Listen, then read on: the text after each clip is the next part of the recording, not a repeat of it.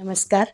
रामधारी दिनकर जी की ये रचना है रश्मि रथी, जिसमें भगवान श्री कृष्ण युद्ध रोकने का अंतिम प्रयत्न कर रहे हैं और पांडवों की ओर से हस्तिनापुर, वो शांति दूत बनकर जाते हैं। उस वक्त दुर्योधन और भगवान के बीच में जो संवाद होता है, भगवान जो विश्वरूप दर्शन दिखाते हैं, उसका वर्णन रामधारी जी ने इस रश्मि रथी के तृतीय सर्ग में किया है, जो मैं आपके सामने प्रस्तुत करने जा रही हूँ। कि वर्षों तक वन में घूम घूम बाधा विघ्नों को चूम चूम सह धूप घाम पानी पत्थर पांडव आए कुछ और निखर। सौभाग्य ने सब दिन सोता है, देखे आगे क्या होता है।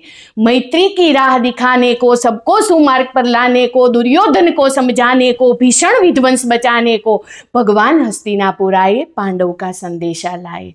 क्या? दो न्याय अगर तो आधा दो।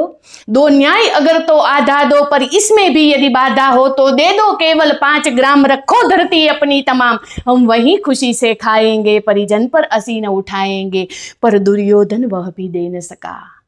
दुर्योधन वह भी दे न सका, आशीष समाज की ले न सका, उल्टे हरि को बांधने चला जो था असाध्य साधने चला।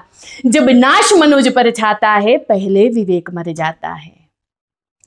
जब नाश मनुज पर छाता है, पहले विवेक मर जाता है। और इन्हें भीषण हूंकार किया, अपना स्वरूप विस्तार किया। डगमग डगमग, दिग्गज डोले, भगवान कुपित होकर बोले, जंजीर बढ़ाकर साध मुझे, हाहा दुर्योधन, बाँध मुझे।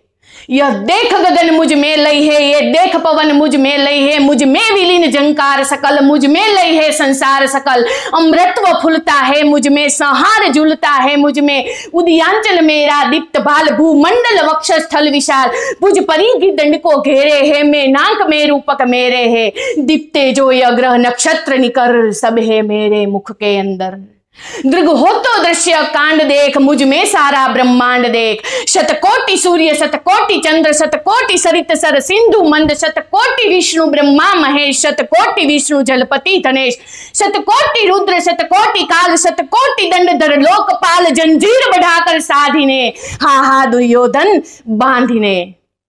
लोक अतल पाताल देख, गत और अनागत काल देख। यह देख जगत का आदि सृजन, यह देख महाभारत कारण। मृतकों से पटी हुई भू है, पहचान इसमें कहा तू है? अंबर में कुंतल जाल देख, पद के नीचे पाताल देख, मेरा स्वरूप विकराल देख, मुट्ठी में तीनों काल देख। सब जन्म मुझी से पाते हैं, फिर लोट मुझी में आते हैं। जिहवा से करती ज्वाल, सघन सांसों से पाता जन्म पवन। पड़ जाती मेरी दृष्टि जिधर हंसने लगती है, सृष्टि उधर। मैं जब भी मोंदता हूँ लोचन, छा जाता चारों ओर मरण। बांधने मुझे तू आया है, जंजीर बड़ी क्या लाया है? बांधने मुझे तू आया है, जंजीर बड़ी क्या लाया है? यदि मुझे बांधना चाहे मन तो पहले बाँध अनंत गगन। सुने को साध न सकता है, वह मुझे कब बाँध सकता है? हित वचन नहीं तूने माना हित वचन नहीं तूने माना, मैत्री का मूल्य न पहचाना तो ले, मैं भी अब जाता हूँ, अंतिम संकल्प सुनाता हूँ, याचना नहीं, अब रण होगा, जीवन जैया की मरण होगा, टकराएँगे निकर बरसेगी भूप पर, वही प्रखर फण शेष नाग का डोलेगा, विकराल काल मुँह खोलेगा। दुर्योधन रण ऐसा होगा, फिर कभी नहीं जैसा होगा। भाई पर भाई टूटेंगे, विषमान बूंद से छूटेंगे, भाई श्रृंगार सुख लूटेंगे, सौभाग्य मनुज के फूटेंगे। आखिर तू भूषाई होगा, हिंसा का परदाई होगा। थी सभा सन्न सब लोग डरे, चुप थे, या थे, बेहोश पड़े। केवल दो नर नागाते थे, धुतराष्ट्र विदुर सुख पाते थे।